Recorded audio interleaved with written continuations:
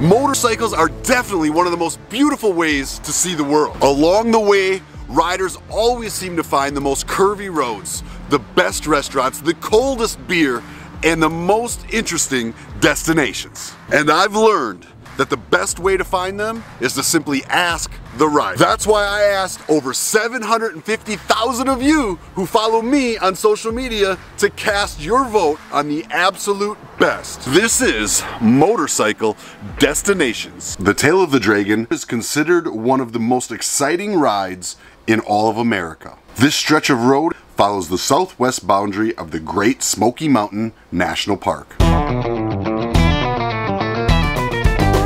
Welcome y'all to the Tail of the Dragon, probably America's most iconic road and possibly its most dangerous too. They call it the Tail of the Dragon, but it's formally known as Highway 129. And the reason it is so famous and so many riders come from all over the world literally the world. They fly in from other countries just to ride this road. And it's because it contains 318 curves in just 11 short miles. And it's not only my opinion that this could potentially be one of the most dangerous roads in America, they even put a sign right here on the entrance telling you high crash area the next 11 miles. So now let's take this Indian Challenger on the tail of the Dragons 318 curves and find out why it's featured on motorcycle destinations. This stretch of road is considered one of the most exciting rides in all of America. And Highway 129 and the Cheoah Dam were featured in movies like The Fugitive and Two Lane Blacktop, where much of this road was featured at the very end of the movie.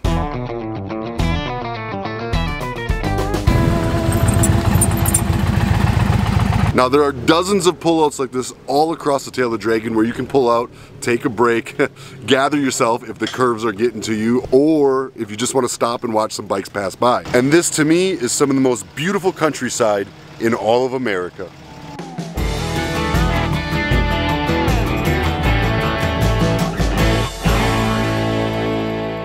Unfortunately today we had a first-hand example as to why everybody says the Tail of the Dragon is such a dangerous road. A gentleman who had clearly gone head-to-head -head with a full-size car. The road conditions are a 5 out of 10, maybe a 6 out of 10 at best. There's plenty of potholes and repair jobs for you to dodge in between your corners.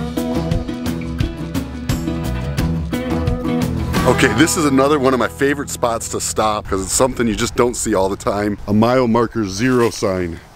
That's right, so this fence marks the state line between North Carolina and Tennessee. All right, let's get back to the road.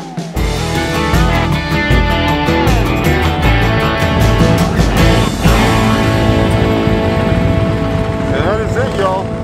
We have officially completed the Dragon together. While the curves on this road are definitely world class, it's also important to note that the scenery is less than exciting. The roads are tightly lined with trees, and the few moments where you can peek between them to see a good view are rare and far between. Now this is Deal's Gap. Deal's Gap sits at the top of the tail of the dragon, and it's got several things you're gonna wanna know about. One, it's got a gas station. Two, it's got a convenience store with a restaurant and some drinks, and the Tree of Shame. This is it. This is the tree of shame. And basically all the people who have wrecked across the tail of the dragon and live to tell about it come and hang a piece of their motorcycle right here.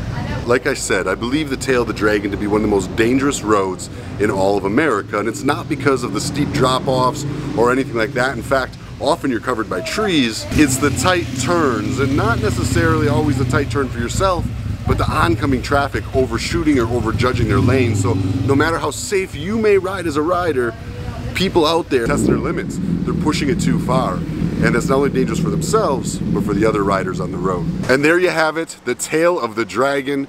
Riders come from all over the world to test their skills on this very road. And not only their skills, but their machines. And that's one of my favorite things about the Tail of the Dragon, seeing all the different motorcycles and cars and random vehicles that come up and ride this road. I hope you all enjoyed today's video. And if you happen to know another road or destination that motorcycles should be visiting, go on over to motorcycledestinations.com and add that listing. It's a resource to riders around the world.